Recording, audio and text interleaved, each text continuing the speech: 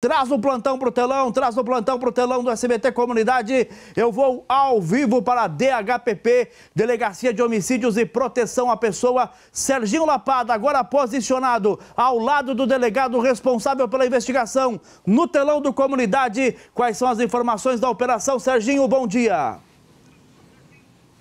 Ótimo dia para você, Trindade. Ótimo dia para você, meu amigo e minha amiga e toda a audiência do SBT Comunidade na Baixada Cuiabana. O doutor Maurício Maciel vai passar aqui informações sobre esta operação de hoje, de um crime que aconteceu em 2022. Doutor, resultado positivo, investigações avançaram e hoje culminou na operação.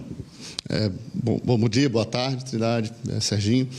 É mais uma ação da DHPP nesse enfrentamento, nessa repressão qualificada que é, a Polícia Civil busca é, tem buscado dar em face às organizações criminosas aí que, que muitas vezes se dedicam a esses crimes de homicídio, mas são, são diversas práticas criminosas que a gente vê envolvidos. Né?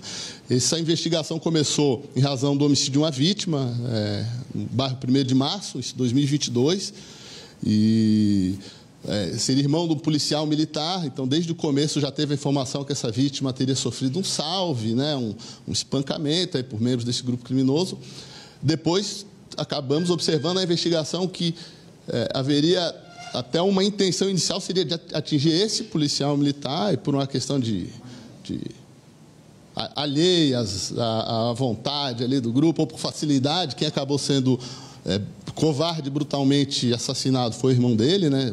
Sofreu uma sessão de, de, de tortura e veio, veio, ainda a ser socorrido com vida, estava agonizando, mas morreu no hospital, faleceu no hospital. E no curso das investigações, ainda é, sendo realizadas nessa localidade, tem, é, ao, ao, registro, inclusive, de, de, de, um indivíduo que teria, seria associado com esse grupo criminoso que teria praticado ameaça contra o investigador aqui da DHPP, que não até está em outra unidade. Mas, enfim, a investigação foi evoluindo de uma forma bastante robusta e efetiva. Hoje foi deflagrado aí a, a Operação Lei e Ordem para cumprir cinco mandados de busca e apreensão e cinco mandados de prisão temporária. Dois alvos foram é, presos, um aqui em Mato Grosso e outro em Campo Grande, com apoio da Polícia Civil de Mato Grosso do Sul. Os outros três, eles, até mesmo por, por esse envolvimento com essas práticas de, delitivas, de, de grupo criminoso, eles estão em local incerto, né? Mas a investigação está bem robusta, é mais uma, uma pode-se dizer, uma pancada da polícia no, no, crime organizado aqui. E ainda, ainda que esses três não tenham sido localizados, as diligências seguem e não há dúvida que temos elementos bastante robustos para indiciá-los, né? fechar essa, essa investigação e para entregar o inquérito para análise do Ministério Público. E, e outros trabalhos seguem né, nessa mesma linha. A Polícia Civil da DHPP bastante imbuída nessa missão. Doutor, na realidade, a intenção deles era atingir o policial militar. Acabaram aí vitimando o irmão que não tinha nada a ver com a situação, com nada. É, mas não, não, que tenha sido o, o, erro de execução, etc. É, é, teria se optado ali quem foi é, executar as pessoas ali, acabaram é, pelo, pelo que a investigação mostra, seria muito mais difícil praticar a ação ali em face do alvo inicial e esse indivíduo teria um histórico já de, de talvez pequenos furtos ali no bairro e tal. Então, é, foi uma forma de, de, de, de pegar o caminho mais fácil, né? mas a, a, a informação inicial é que o, o, alvo que se pretendia seria um, um, policial, e quem acabou sendo morto, não por engano, né? mas justamente seria mais fácil fazer essa, essa execução, foi o, o irmão desse policial. As investigações continuam? É, agora a gente tem, tem um prazo da prisão temporária, mais um, temos aí alguns materiais para analisar, mas, como eu falei, tem, temos elementos bastante robustos sobre a autoria, a materialidade desses crimes. Então, é, também há o esforço para tentar localizar e prender os três indivíduos que estão, estão fugidos, mas é, dentro de pouco tempo, acredito que a investigação desse caso se conclua e, e, e, esses indivíduos aí, uma hora ou outra, também vão acabar é, caindo, né?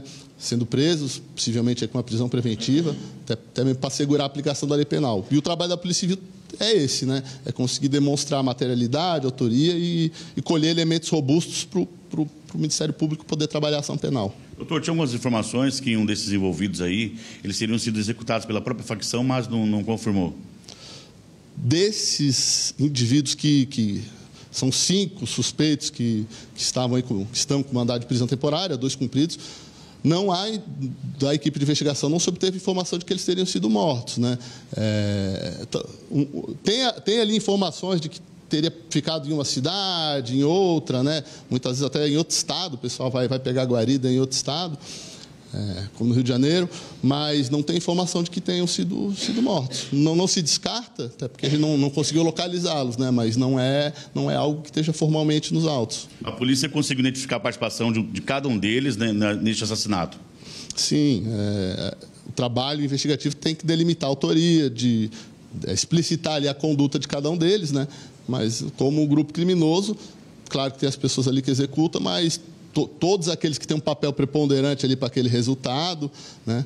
e no caso todos estão vinculados aí com esse homicídio, que foi bastante cruel e, e, e, feito de uma forma covarde, todos esses investigados, esses indivíduos que sem dúvida vão ser indiciados, né, com a conclusão aí do inquérito policial, porque já há elementos robustos, todos eles têm envolvimento sim com, com crime. Pois é, Trindade, são essas informações, a ocorrência ainda em andamento. Qualquer informação nova, a gente volta aí no estúdio com você ao vivo.